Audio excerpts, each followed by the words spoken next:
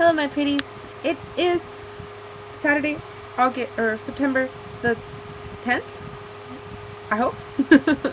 um, you can't really tell my hair color right now, but it got colored and it's nice and pretty. I'll post. I'll try to make a video tomorrow morning. Sorry I didn't make a video yesterday. My friend Cecilia came over to have a sleepover, so we had a sleepover, and it was really nice and exciting. Um, we just hung out and did girly things and watched a movie. Or no, we didn't even watch a movie. We watched a lot of TV because she doesn't get some of the channels that I have. um, I'm gonna start talking to my new trainer type guy soon. So hopefully I'll be like one day, not like that. But we'll see. Um, I just today was my day off, so I just slept all day, like all day. That's all I did. I slept.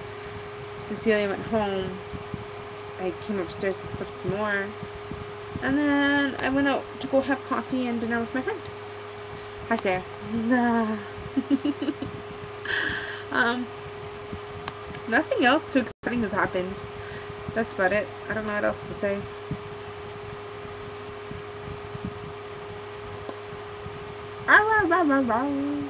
Want to see Papa Chan? There's on my chan. Oh, wait. There's on my chan. My chan. Yeah. He's just sleeping. So I'm gonna let him sleep and I'm gonna go get ready for bed too so I can sleep soon. But I love you guys and I'll see you in the morning. Or, yeah, maybe hopefully in the morning I'll be able to make a video and show you my hair.